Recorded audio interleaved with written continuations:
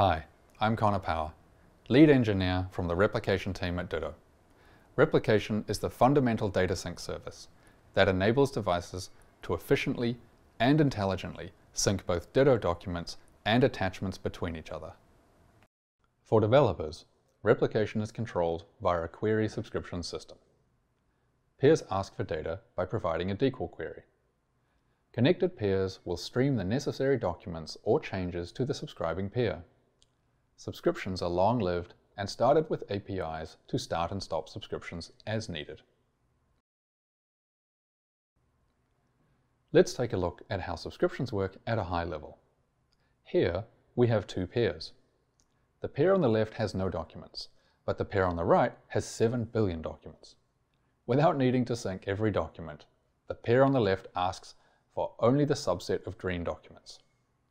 The right side peer accepts the subscription and streams only the 20,000 green documents to the peer on the left. Now both peers are in sync.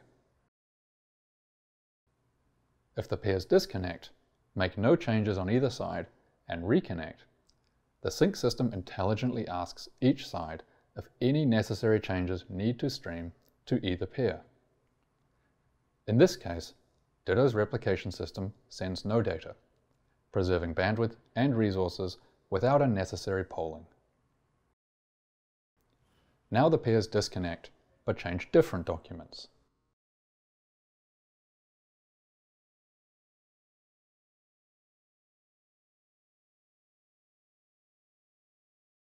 Once they reconnect, Ditto's replication system can quickly evaluate only the necessary document change without sending over the entire query payload, optimizing both latency and bandwidth efficiency. Ditto's sync system pertains to whole documents and their granular properties. Let's take a look at a single car document on both sides. Each peer makes different property changes. Only the granular property changes are sent between each peer without full document replication. However, we have a conflict if the two pairs make concurrent disconnected changes on the same property. Property changes have automatic conflict resolution via the last write wins mechanism powered by Ditto's hybrid logical clock.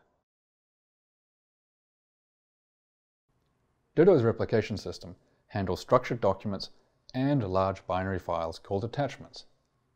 Attachment binaries are helpful for multimedia payloads like images, videos, PDFs, or any other file format.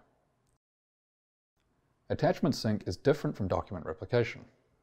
Attachment sync can be arbitrarily downloaded, paused, cancelled, or deleted, even during replication.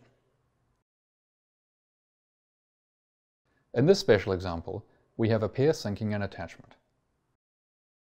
However, upon 33% completion, the upstream peer leaves the mesh, interrupting the sync. Another peer nearby has the same attachment and helps resume the final 66% of the document, aiding the peer to receive the entire document.